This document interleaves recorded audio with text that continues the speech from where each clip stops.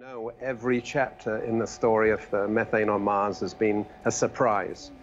Uh, from some time ago, there were reports of plumes in the atmosphere of methane. There were reports of uh, patches when orbiters looked at it and spikes that we reported, as you just mentioned. Every one of them a surprise, but problematic in the sense, frustrating because none of them were repeatable in time and space. They seemed to show that methane was misbehaving. It was sporadic or um, almost random pulses and, and patches were showing up. So today we're announcing a discovery of a repeatable, identifiable seasonal pattern in the methane measurements. And we can look here at the graphic and we can see that. It's in the lower background level because most of the time we're not looking at spikes and we see this low background level. You can see from the winter to the summer this growth. And the big surprise too is not only have we got this wonderful repeatability, but the seasonal cycle changes by a factor of three. That's a huge change, completely unexpected. And what it does, it gives us a key to unlocking the mysteries associated with Mars methane because now we have something to test our models and our understanding against. Uh, we've seen the uh, seasonal variation and uh, we've tried to look at the data and come up with some explanations. And we've been able to rule out some of the, some of the sources. We don't actually think the meteoritic or delivery of interplanetary dust that can produce methane in the atmosphere, as Jen said, we don't think that's so important because we wouldn't expect to see a large seasonal variation. We might see 20%. Instead, we're seeing this massive uh, change in the, in the methane signal. And so what we consider, we look at the data and the, the idea that best fits our data is, a, is the idea of subsurface storage.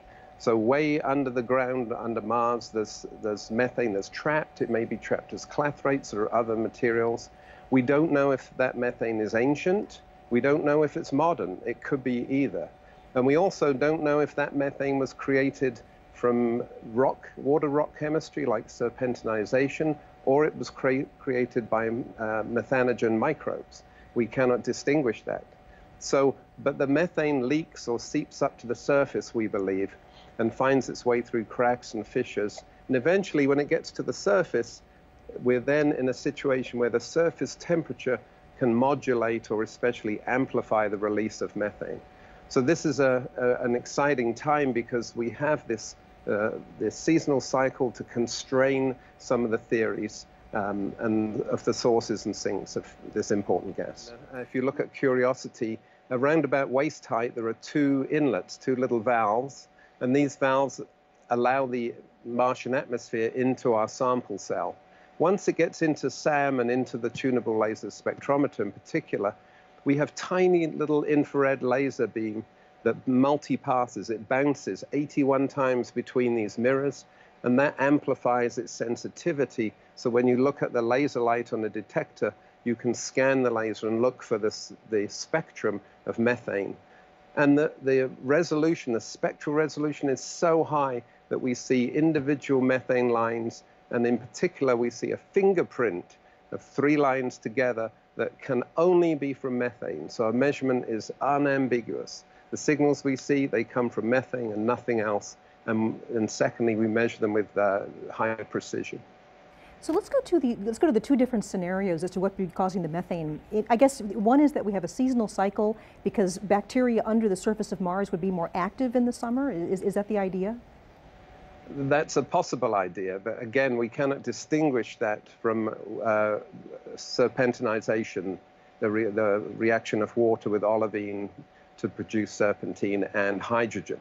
Once you get the hydrogen released in both, both of, um, in that reaction, it can be catalyzed either through a metal catalyst produce methane, that's the abiological route, or it can be catalyzed through enzymes in uh, the microbes uh, in, the, in the cell potential. So just sort of putting that into slightly simpler terms, if, you have water that's interacting with volcanic minerals like olivine, you can also get similar methane that's trapped in the soil and preferentially comes up in the summer? Yes, yes, that's exactly right. Right. But we're, we're hoping that we'll see uh, more, uh, we'll get more results in the future on this, especially from uh, other missions.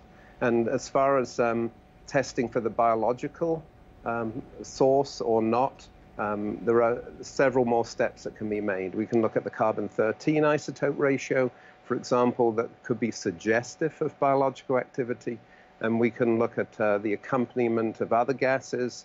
So we have, um, and we can sit uh, on the surface in curiosity and maybe one day we'll see a plume that's large enough where we can measure that carbon 13 ratio ourselves. So there's lots of exciting uh, ways forward. But at this, at this moment, again, the biological option is, is being held. It hasn't been ruled out.